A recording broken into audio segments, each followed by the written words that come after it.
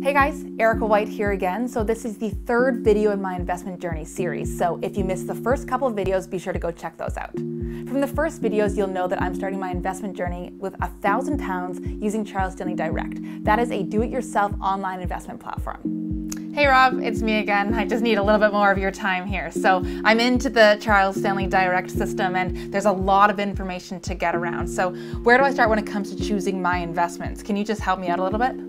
Sure, building a selection of investments and getting the balance of risk and return can take time and it depends on a number of different factors. Investment goals, time scale, and it will also be shaped by the volatility, that's the extent of the ups and downs in the value of the investments that's acceptable to you. And you need to think about diversification. Diversification, this is a word I'm hearing a lot of. Can you explain to me what exactly it means? Yes, there can be a lot of jargon in the investment world. Diversification means having a mixture of different investments or asset type uh, types in your portfolio.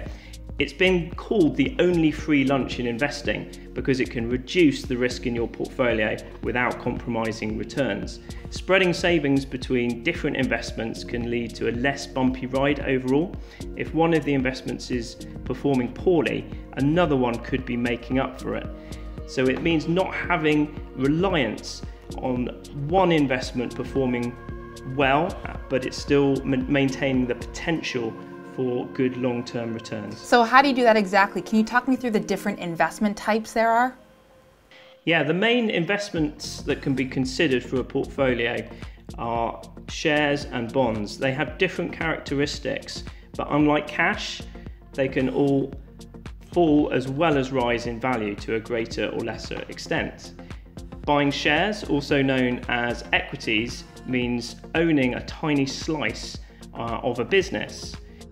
Shareholders participate in the growth of that business if it does well and often receive a portion of the profits through dividend payments. For instance, if you own a thousand shares in a company worth £1 each and the company pays a 5 pence dividend, you get £50.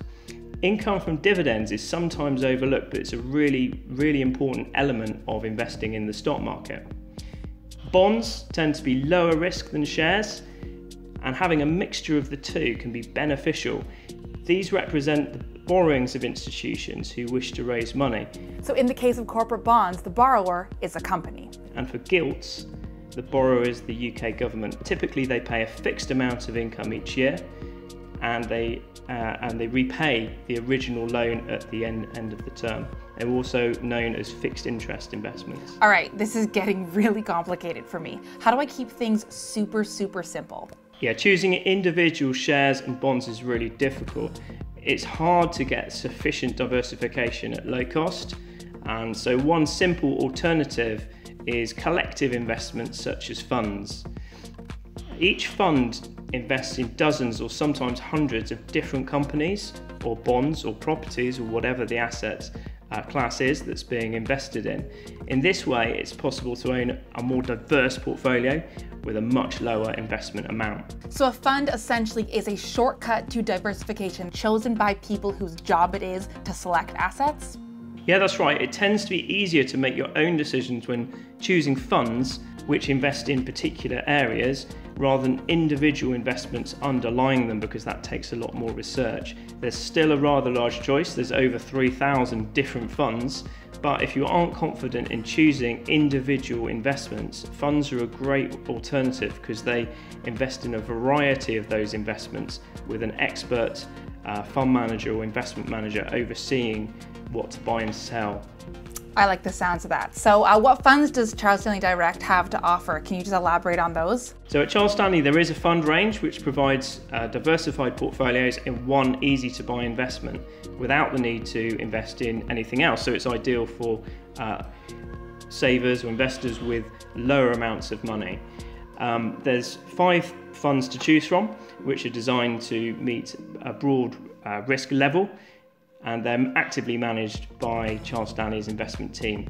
And that means you don't need to actually monitor and change investments yourself, as long as it's uh, to the to the risk level that you're happy with. It's uh, the rest of the investment decisions are done for you. So that's one way to get started. Okay, I'm really liking the sounds of this now. So how do I choose which fund or funds are best for me? So on the Charles Stanley Direct website, there's a dedicated page for these five funds, and you can click on the different options. Firstly, you're asked what are your investment goals that's growth or income. Growth means growing your money, aiming to grow your money over the longer term, or income, which means using the capital to try and produce a regular income. Um, after that, you're asked uh, about your level of risk that you want to take, the, your risk tolerance. Um, and there's uh, four, four levels, which is cautious, balanced, growth, and adventurous. Cautious is uh, lower risk, balanced means medium risk, growth means higher risk, and adventurous, even higher risk again. Once you've chosen from these options, then you're provided with the detailed information on the asset allocation. That's how the investments in the fund are diversified over different uh, uh, asset classes and individual investments. And you can also read the key information in the fact sheet, which also details the top 10 holdings and the performance of the funds. All right, cool. So I think I got the hang of this now. Rob, thank you so much for taking this time to break this down for me. I'm really understanding it now. That's no problem. No, no problem at all. Thanks, Erica.